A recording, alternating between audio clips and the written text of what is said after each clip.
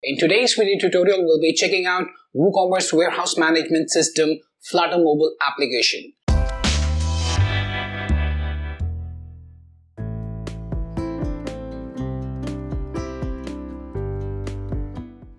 Hi, and welcome back to this new video tutorial of WooCommerce.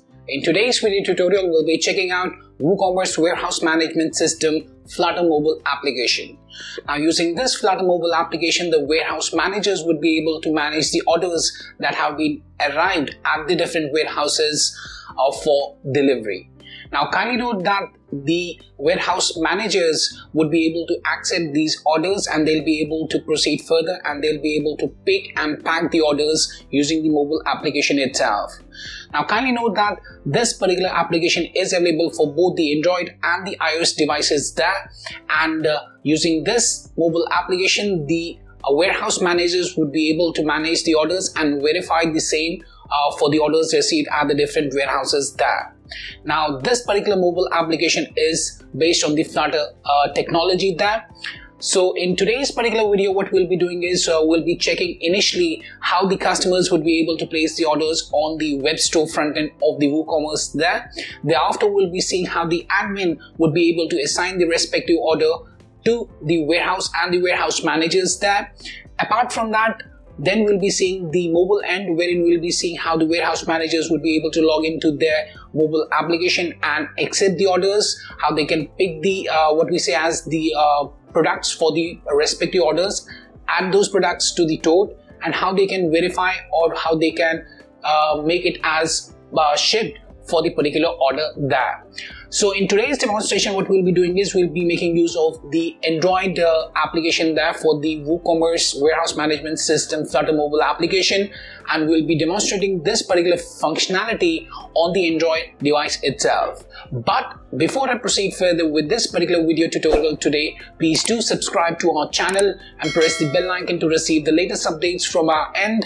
And if you find this particular video helpful, then do kindly give it a thumbs up. So let's do one thing. Let's hop onto the WooCommerce backend panel first and uh, thereafter we'll also be seeing how we can place the order in the first place and thereafter we'll be hopping onto the mobile end to show you the workflow at the warehouse manager end there. So let's hop onto the WooCommerce storefront first. So right now you can see that I'm on the WooCommerce web store front and so what I'll be doing is I'm on the shop page right now. I'll be adding one product as a customer there into the cart and I'll be making a checkout thereafter. So let's head on and let's uh, add one product into the cart and make a checkout thereafter. So here you can see that I have the coffee day toned milk so I'll be adding it to the cart there. I'll tap here on the view cart and here I'll scroll down and here I'll proceed to the checkout and here I'll be entering my first name, last name and my details for my address because I'm a guest user right now. A registered user can do the same as well and after selecting the payment method, I'll just tap here on the place order button.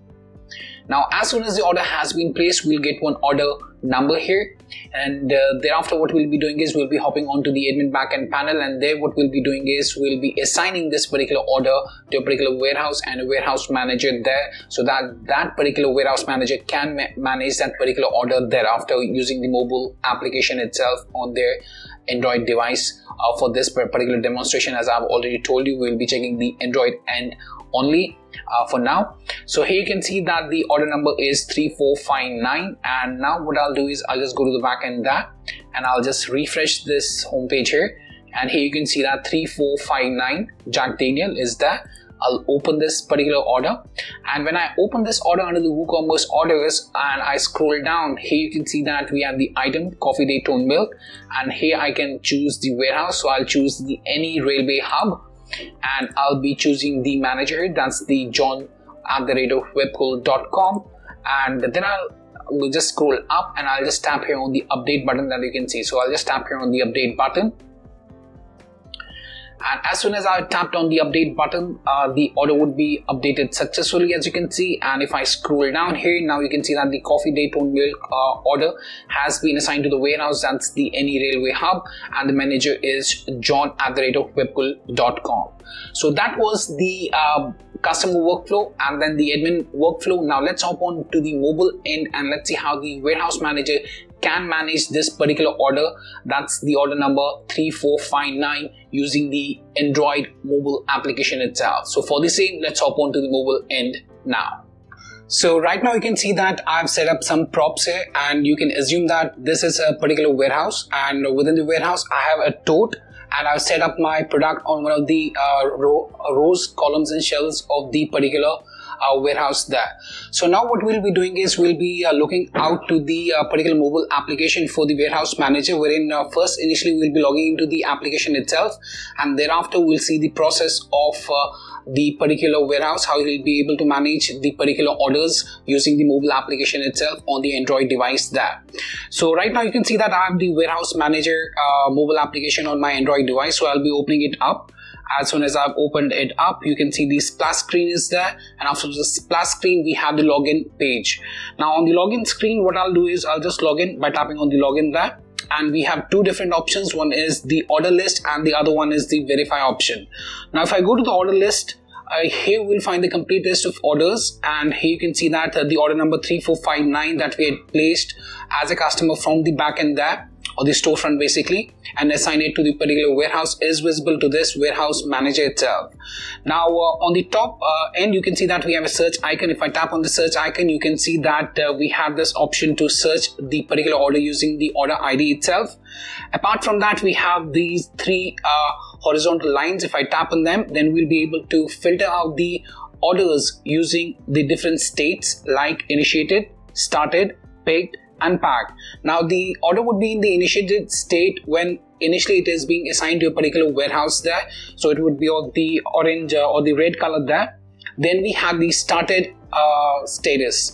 Now, when the tote has been assigned to a particular order, it would be in the starter state, and when the particular products are added uh, to a particular tote, then it would be in the picked state. And when we are verifying a particular order, at that time when we have verified the order, the order would be set up as packed. Now, you can basically filter out these orders. If I tap here on the initialized, you can see the initialized orders are there Similarly, if I tap on started, the orders with the totes uh, assigned are being displayed. And similarly for the picked and if I go with the packed here, uh, the packed ones are also visible. Now let's go back and I'll go to the order list so now let's see the procedure of uh, this particular mobile application, how it helps the warehouse manager to uh, basically assign the tote uh, to the products and then how he'll be able to verify or pack the products using the mobile application within the warehouse itself. So we'll open the order number 3459 and here you can see that we have the coffee day toned milk and on the bottom end we have the option to add the tote. So here we already have a tote. So what I'll do is I'll just tap here on the add button and I'll set it as only one time and I'll be scanning the tote. You can see that the tote has been assigned successfully to the particular order. Now we need to add the products to the tote. For that, I'll tap here on the uh, Coffee Day Toned Milk product that is uh, available for selection now. So I'll just tap on that and then you can see that we have the scan product barcode. So I'll tap on that